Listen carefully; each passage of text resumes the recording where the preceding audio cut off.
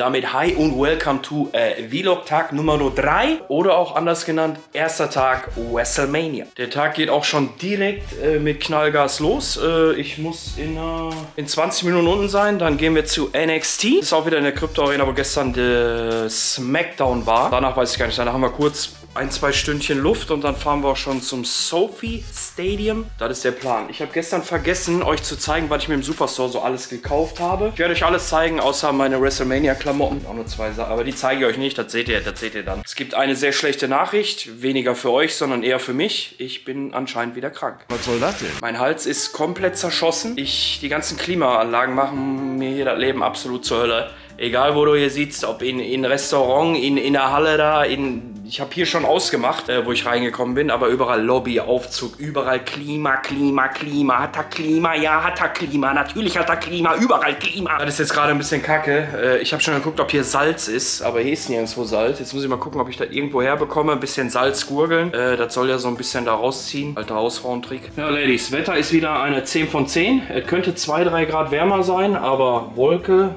sehe ich hier nicht. Oh.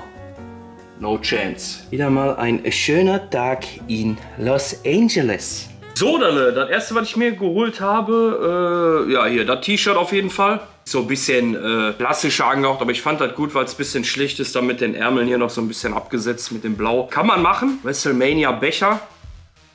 Denke ich, äh, ist eigentlich ein safes Ding, dass man sowas mitnimmt. Kosten tatsächlich, ich glaube, 5er. 5 Dollar. So ein Öllimann-Becher hier, wie viel hat der? Ich würde sagen 2 Liter. Steht natürlich nicht. Gut. Aber im Prinzip, ne, wie gesagt, die komplette Matchcard durcheinander drauf. Dann habe ich zwei, drei Stück mitgenommen. Sind nice, ja? Ist ein cooles Erinnerungsstück und für 5 Dollar. Man ist nur einmal hier. Ja? Dann einmal dieses WrestleMania-Shirt mit hinten drauf dann noch. Ich war hier mit dem Datum äh, ich muss ganz ehrlich sagen, äh, es war schon mal bessere T-Shirt-Qualität. Die T-Shirts wirken sehr, sehr dünn und für den Preis ist das schon hart. Und du musst hier gefühlt zwei Nummern größer nehmen, wie du äh, in Europa hast. Aber hey, man ist nur einmal hier.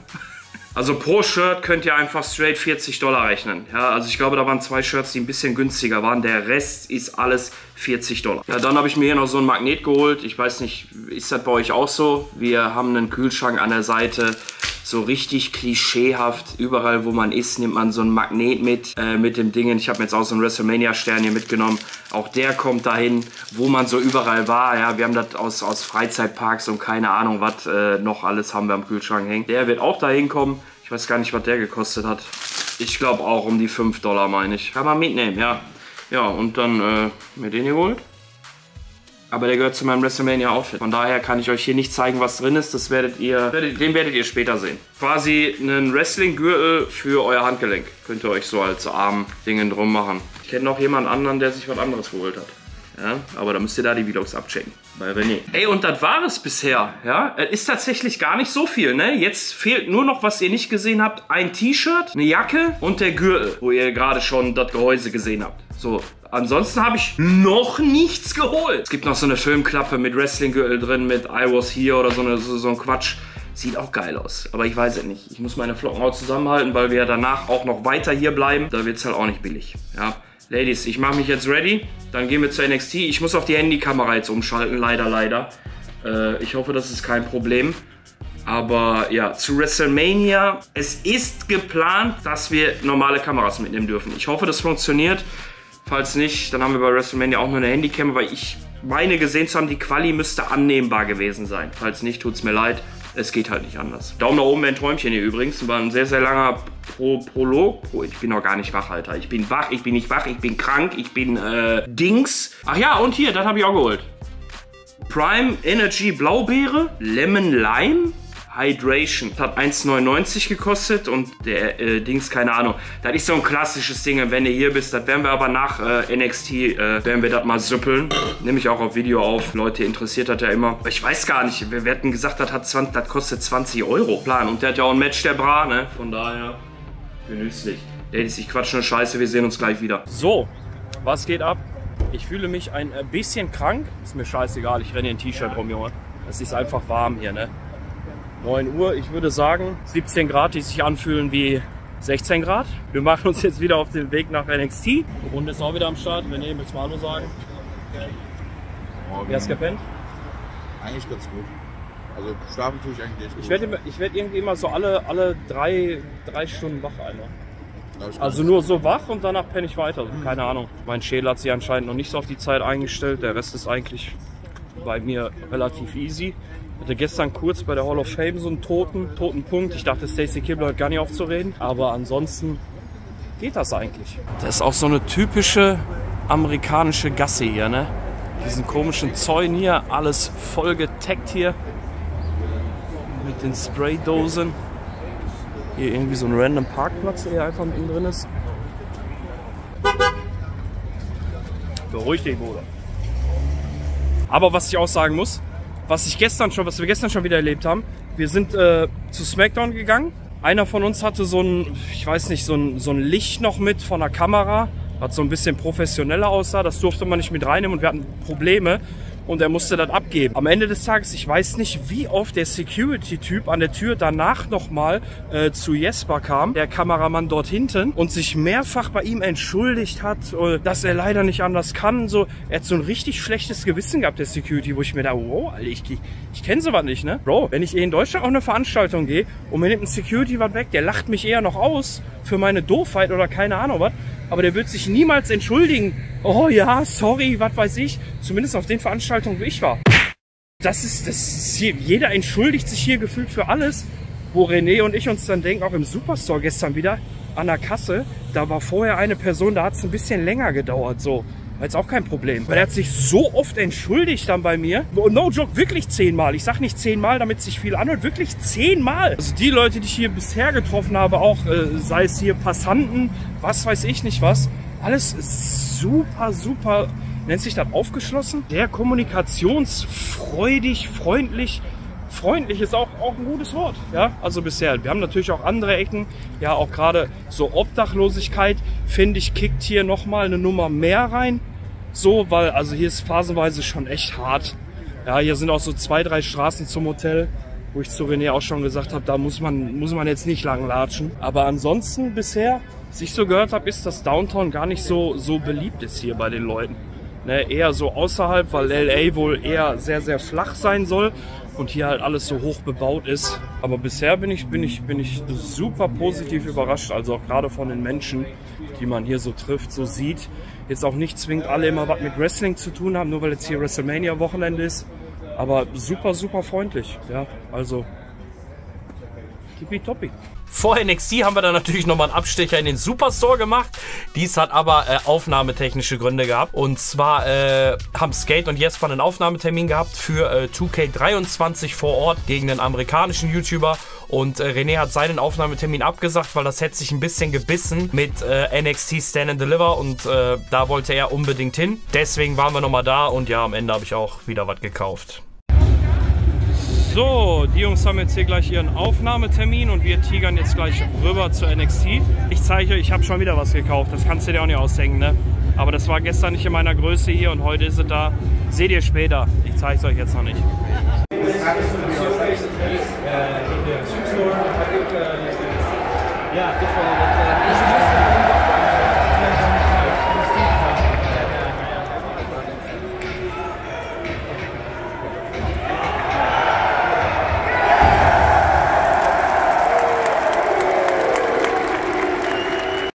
So, wir sind da. Bruder, können wir reden, was das für Plätze sind? What the fuck? Und da haben wir Drain the Rock Johnsons Tochter. Also, Drain, komm mal raus da jetzt. Trau dich mal. Ey, Jungs, hier ist eine Stimmung. Das ist der Hammer, Alter, wie laut das ist.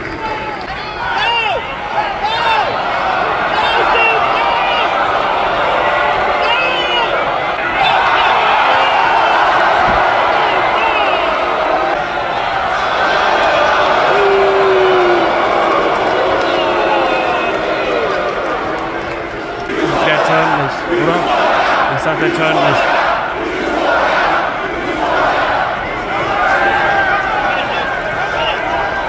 Der turnt nicht, ja.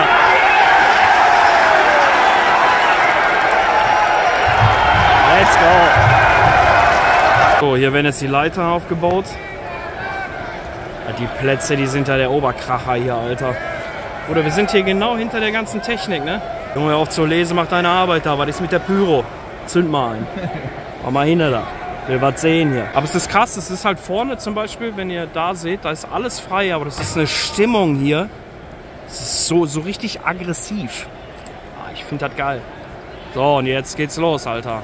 Hol die Leitern raus und ab die Post.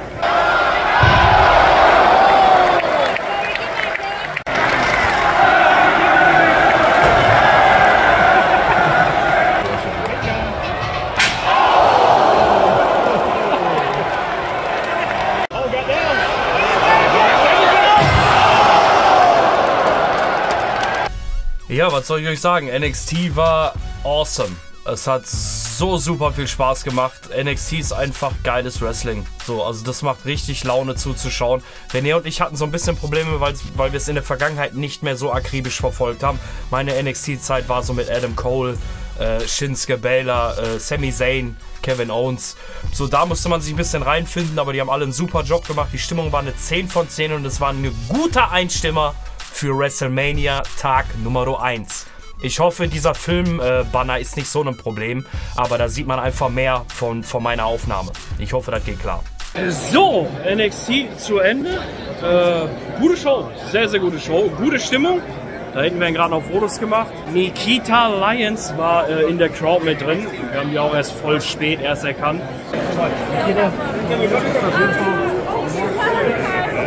Also wir machen jetzt die letzte Vorbereitung für WrestleMania. Wir klären gerade noch mal ein bisschen. Und äh, dann, was wolltest du nochmal? Ja, du wolltest nochmal zum Superstore, ne? Ja, Wir, ver nice, wir verbringen mehr Zeit im Superstore wie im Hotelzimmer. Ist auch gut. Aber so ist das. Äh, NXT war auf jeden Fall ein guter Anheizer gewesen. Ich merke, mir geht es körperlich besser, aber meine Stimme geht gerade irgendwie so ein bisschen weg. Äh, ich muss mal gucken, wie ich da gleich dribbel. Ich muss auf jeden Fall irgendwas essen, weil mein Körper hat gerade keine Reserven, wo der irgendwie so ein bisschen Krankheit kaschieren kann. Ich hoffe, das bricht nicht komplett aus, weil habe ich gar keinen Bock drauf. Aber mal schauen, Marcello.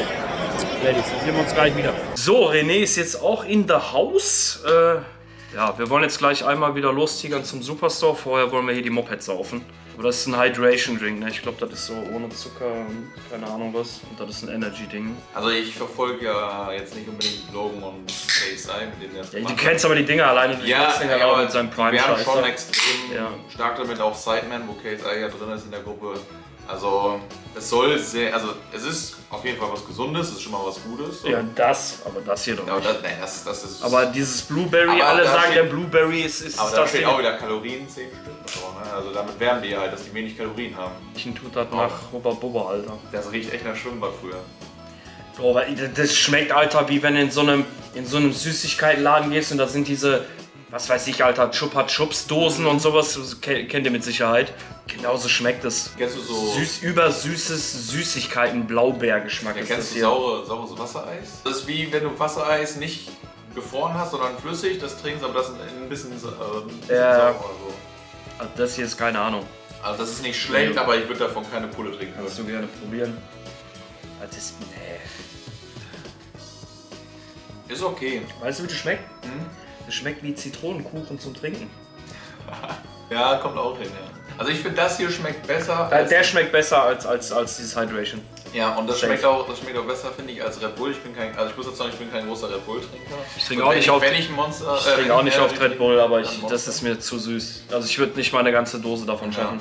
Es sei denn, Logan Paul ist irgendwie interessiert an der Corporation, dann ey, it's, a, it's great, it's, it's fantastic. Nee, ich weiß, also du meinst es überhaupt, das ist einfach zu süß. Das ist einfach viel zu süß. Ja, aber auch- das, das ist so ein Ding, wo du Durst hast, das trinkst und hast danach mehr Durst als vorher. Haben wir das auch abgehakt. Ja, so Dinge, die musst du halt hier machen. Wir ziehen uns jetzt an. Ich glaube, ich werde aber jetzt die Kamera nicht nochmal mitnehmen, wenn wir im Superstore sind. Wir gehen komplett ohne Kameras hin. René hat sein Handy auch oben, weil er es laden muss. Ich muss meins hier auch laden. Äh, ich nehme es aber, denke ich, mit, weil so lange werden wir da eh nicht bleiben. Ich muss gucken, was ich mache. Ich kann die Jacke nicht anziehen. Ist es zu warm oder nicht? Deswegen habe ich mir die ja geholt, Alter. Denkst du, ich renne damit zu Hause rum, wenn ich zum Bäcker gehe? Hast du ja immer noch morgen. Und Wie wird das Wetter morgen? Wenn es noch wärmer wird, ist Durchfall. Er hat gerade gesagt, dass es überraschend warm ist, aber dass es auf jeden Fall kühler wird. Heute noch? Ja. Ja, dann nehme ich die mit. Zur Not binde ich mir die rum. Ja. Und gut ist. Gut, dann haben wir es so geklärt. Hm. Kauf die Jacke. Ladies, wir sehen uns gleich wieder. Tschüss.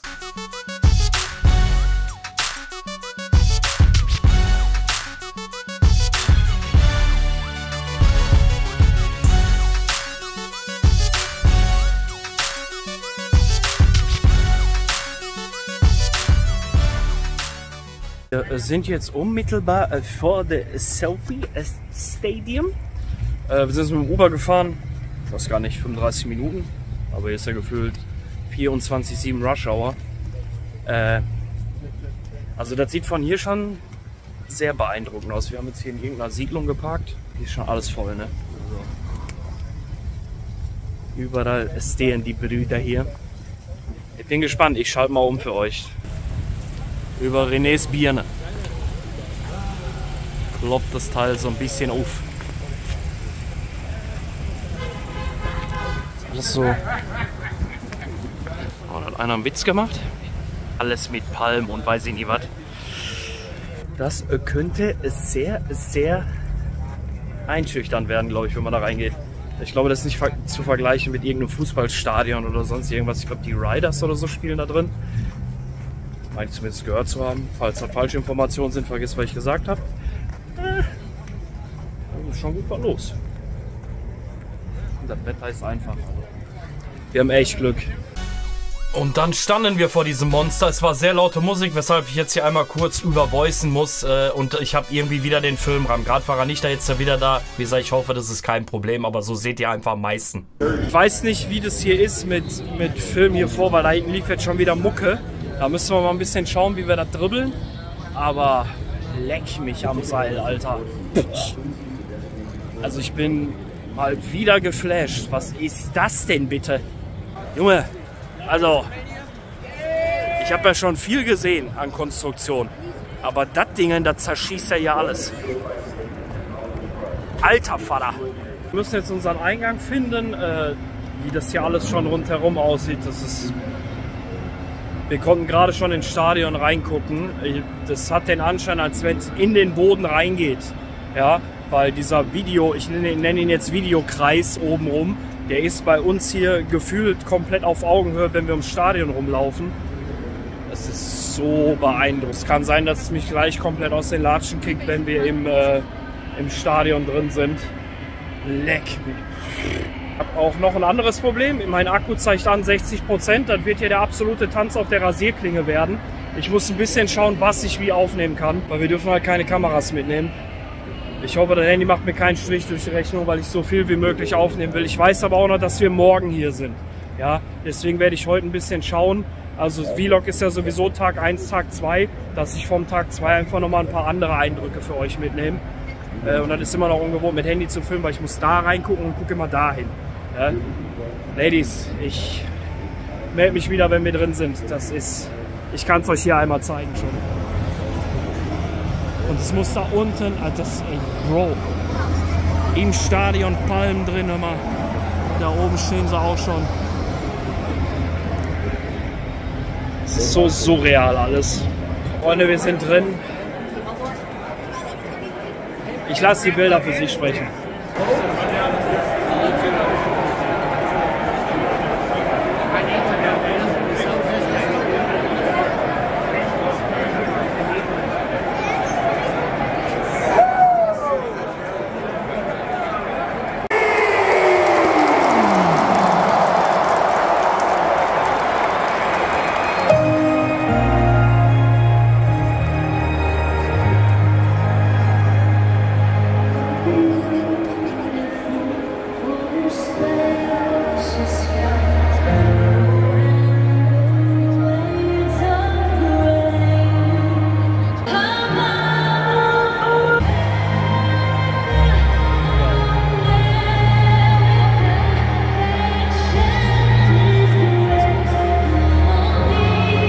Weiß nicht, was hier heute passiert. Es sind so viele Menschen hier, es ist so laut.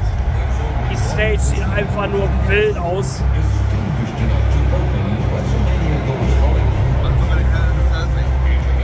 Jo, und den Käfig sieht man.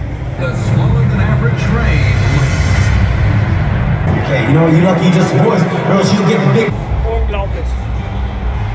Ich darf gar nicht daran denken, wir sind morgen nochmal hier.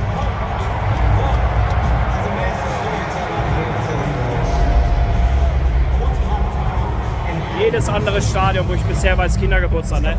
Wir sind jetzt hier gerade eine halbe Stunde durchs Stadion gelatscht. Es ist so riesig, es ist wie eine eigene Stadt, dieses Stadion. So viele Ebenen. Und der Ring da oben ist quasi auf Bordsteinhöhe draußen, wo wir rumgelaufen sind. Es geht so weit in den Boden rein. Es wird so wild werden hier, Alter. Leck, Alter.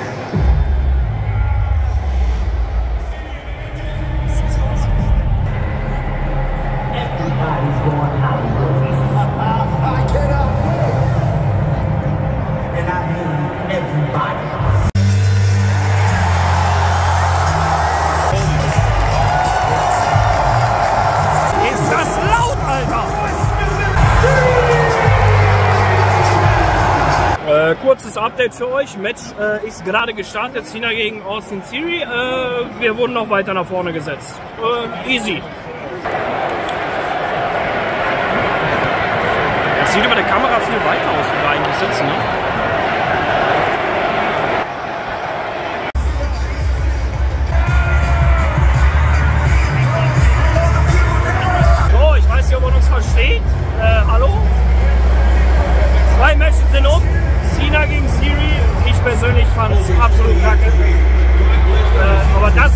Hier habe ich am wenigsten erwartet eigentlich. Also das, das äh, Fatal Four Tag Team Match war Baba. Absolut Baba-mäßig. Die Stimmung hier ist komplett anders. Oder? Die Stimmung ist... Man sieht Mina aber auch echt krass an, wie gut das Match macht. Gegen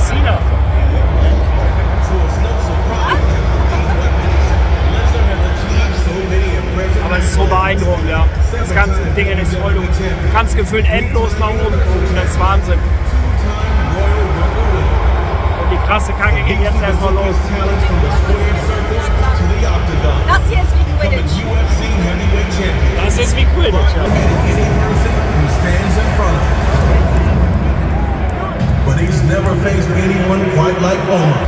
Ganz, ganz krass. Ich hoffe, ich krieg den Entrance von Rollins und äh, Sami Zayn und uns drauf. Weil dann wird es hier komplett gestört werden. Also.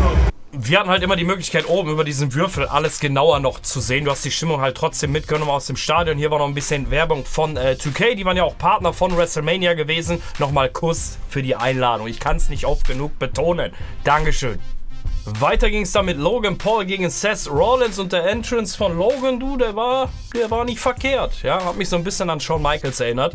Bei WrestleMania, ich weiß gar nicht, gegen Brad Hitman Hart müsste das Match gewesen sein. Das Iron Man Match. Äh, kann man machen. Kann man machen. In der Prime-Pulle, wisst ihr ja im Nachhinein, da war KSI drunter. Da wird ja auch noch ein bisschen spekuliert, ob der gegen Lashley ran muss. Aber dann, Freunde, dann ging's los. No way. No way.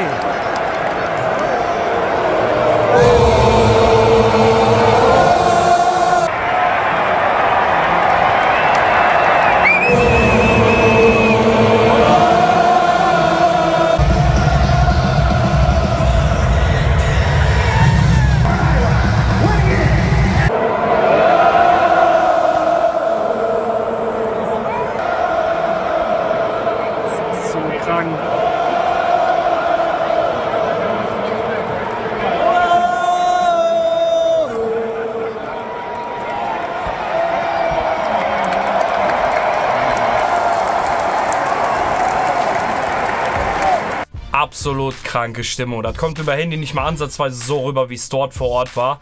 Gutes Match auch gewesen, war, war sehr unterhaltsam. Danach ging es dann weiter mit äh, Trish, Lita und Becky Lynch.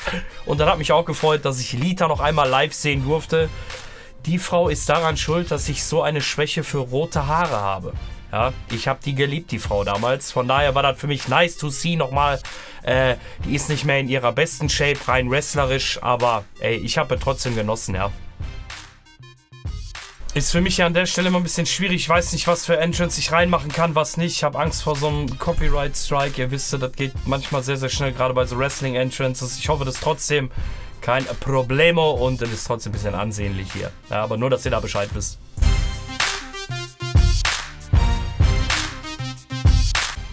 Dann ging es weiter mit äh, Papa gegen Sohnemann. Äh, Dominic Mysterio gegen Rey Mysterio. Dominic, super Entrance. Also wirklich, auch mit seinem Knastdingen äh, da wieder ein bisschen mitgespielt. Die Maske hat er aufgehabt, hat die dann während des Entrances abgezogen. Super Storytelling. Kann man genau so machen, waren Baba Dingen.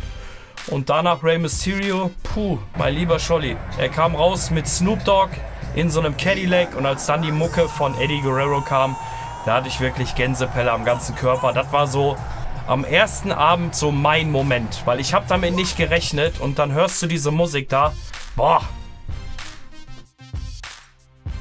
Danach kam dann das Match Rhea Ripley gegen Charlotte Flair. Baba Match. Sehr, sehr stark. Also das war Showlaufen für die Frauen-Wrestling-Division, nenne ich sie jetzt hier mal. Krank.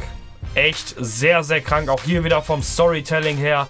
Ein Kickout nach dem anderen. Der ist aus dem Pin rausgekommen, der ist aus dem Pin rausgekommen. Und am Ende dann, aus meiner Sicht, der verdiente Sieger mit Rhea Ripley. Well, what do we got over here? A couple haters? Über 80.000 Leute waren an dem Abend da und es kam von der Stimmung her nochmal als das Doppelte rüber. Ja, und dann kamen wir zu einer Sequenz, wo, glaube ich, ich und 95% der anderen Leute im Stadion gehofft haben, dass eine Person rauskommt. L.A. Knight. It's not an insult, that is just a fact of life. Yeah! Der kam natürlich nicht raus, genau wie den Abend danach. Das kann ich ja hier schon vorwegnehmen. Und das hast du in dem Umfeld von der Stimmung gemerkt. Die Leute waren pisst. Ich meine, hey, come on. Du hast den Hometown-Guy da, der genau für sowas perfekt gepasst hätte und du bringst ihn nicht. Come on, WWE. Oder sollte ich vielleicht sagen, come on, Vince McMahon. What do we got over here? A couple haters? Aber machen wir weiter mit dem Match des Abends. Thank you.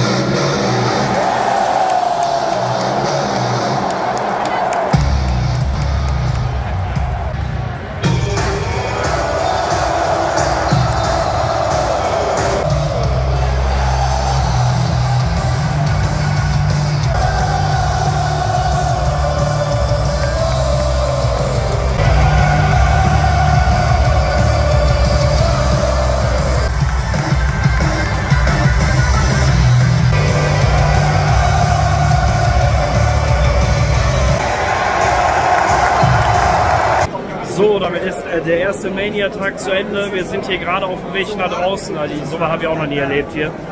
Oh, hier sind nur Menschen. Ich weiß nicht, wo wir hier langlatschen müssen. Das ist wie so ein übergroßes Treppenhaus, kommt dir das vor. Wir rennen die ganze Zeit schon im Kreis und immer geht es eine Stufe nach oben. Das ist ja Hammer, Alter. Und überall nur Köpfe, Beine, Körper. So, und hier sind sämtliche Geruchssorten unterwegs. Ne? Also, Guckt euch das mal an hier. Das nimmt überhaupt kein Ende, Alter. Kommt mir vor, als wenn, ihr, wenn wir hier unter irgendeiner unterirdischen Station und kämpfen uns hier ans Tageslicht. Also das. Bro, Hilfe. Mal drei Kreuze, wenn wir oben sind, ehrlich. Mal, Wir latschen jetzt hier für 25 Minuten nach oben. Aber ich sehe zumindest mal das Stadiondach. Und ich sehe wieder Himmel. Junge, ich glaube, wir haben es geschafft. Ah. Weißt du, wie lange wir jetzt da gefühlt unten im Kreis gelatscht sind? Hilfe. Jetzt nur noch irgendwie rauskommen. Und dann haben wir es. Dann ab in Uber und ab nach Hause. Oder zum Hotel und dann noch was essen, ey. Und danach lasse ich alles einmal Revue passieren. Gerade definitiv zu viel Chaos. So, Freunde, wir haben es geschafft. Da ist das ganze Moped. Ich habe nur noch was ist das, 9% Akku. Äh, ich wollte jetzt hier grob, wir werden uns im Hotel wiedersehen. Ja, gleich, wir fahren jetzt zurück, wir müssen uns jetzt ein Uber besorgen. Äh, aber so ist auch gut, so habe ich nochmal Zeit, das Ganze jetzt hier zu verarbeiten. Ey, das ist alles so riesig hier, das ist nicht mehr normal, ehrlich. Und ich muss pissen wie ein Rennpferd, Alter. Und hier ist kein Klo. Wenn du hier einmal ins Gebüsch gehst, du gehst direkt ins Kittchen. Und da habe ich jetzt nicht so Bock drauf. Ja, auch wenn ich das hier cool finde, aber wenn wir nicht übertreiben. Ne? Wir sehen uns gleich wieder, wenn wir, wenn wir im Hotel sind. So, wir sind jetzt noch was zu essen holen eben. Äh, wir sind an einem Foodtruck, an einem Burger Truck, der keine Burger hat.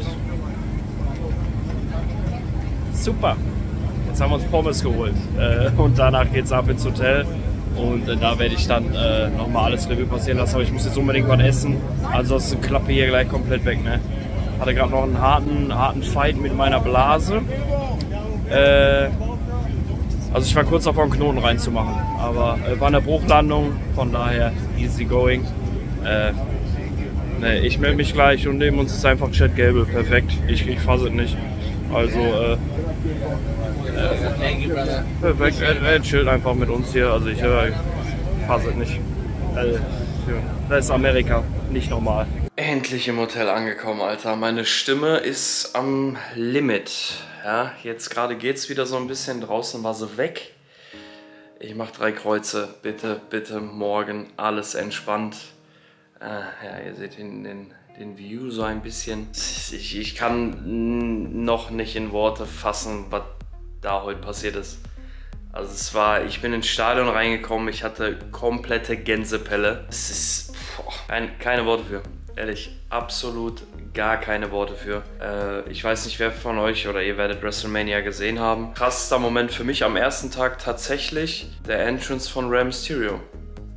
Als die Mucke von Eddie kam, pff, also Gänsehaut am ganzen Körper gehabt. Also es war, es war eine Stimmung beim Rollins Logan Paul Match. Puh. Ja, und Zane Owens mit, den, mit dem Titelgewinn am Ende noch, dann war komplett Schakalaka da angesagt. Und morgen ist Tag 2. Ja, ich hoffe, hoffe wirklich, dass das ansatzweise hier vernünftige Vlogs werden. Oder zumindest so ein bisschen die Atmosphäre rüberkommt. Ich bin gnadenlos überfordert hier. Ehrlich, das sind so unfassbar viele Eindrücke. Morgen steht an WrestleCon vor WrestleMania Tag 2. Ich weiß nicht, ob ich da filmen darf. Wir hatten uns im, im, Vorfeld ein bisschen informiert, aber die einen sagen das, die anderen sagen das. Für diejenigen, die von euch nicht wissen, was eine WrestleCon ist, dort sind eigentlich alle Wrestler, die keine Matches haben. Jetzt nicht zwingend von der WWE, aber auch von der WWE äh, Legenden zum Beispiel. Also da sind jetzt unter anderem Namen morgen wie Teddy Biasi, äh, Jake the Snake Roberts, äh, Lex Luger, die Steiner Brothers, Kevin Nash, AEW Stars sind auch da, unter anderem Adam Cole, was so einer der Prämissen ist, warum ich da hin will, und Kevin Nash. Also die beiden, da werde ich mir auf jeden Fall ein Foto snacken, das muss sein. Jetzt ist für mich Bettkarte stempeln angesagt. Plus, ich werde jetzt noch die Dateien rüberziehen. Ich mache mir auf meinem Laptop immer so Ordner mit Tag 1, Tag 2, Tag 3, dass ich zu Hause quasi direkt loslegen kann. Ich bedanke mich an jeden einzelnen von euch, der diese Vlogs hier verfolgt. Ich muss jetzt unbedingt ins Bett, ich brauche Schlaf, äh, damit ich morgen wieder ansatzweise auf dem, auf dem Trichter bin hier. Ja, ich piss mich. Vielen, vielen Dank an 2K. Also es ist, ein Danke reicht da schon fast gar nicht. Das ist, keine Ahnung. Das ist ein Kindheitstraum, der eigentlich nicht, nie so wirklich greifbar war, weil ich mich auch immer schwer tue dann mit USA. Ich war noch nie in den USA, ja, und das waren so viele Sachen auf einmal, die das erste Mal gewesen wären. Und dann jetzt hier so was miterleben zu dürfen, das ist verrückt. Ehrlich, ist absolut verrückt. Und in diesem Sinne sage ich Daumen nach oben auf dieses Video, wäre ein absolutes Träumchen. Wir sehen uns morgen wieder in alter Frische. Die Dayo, auf Wiedersehen.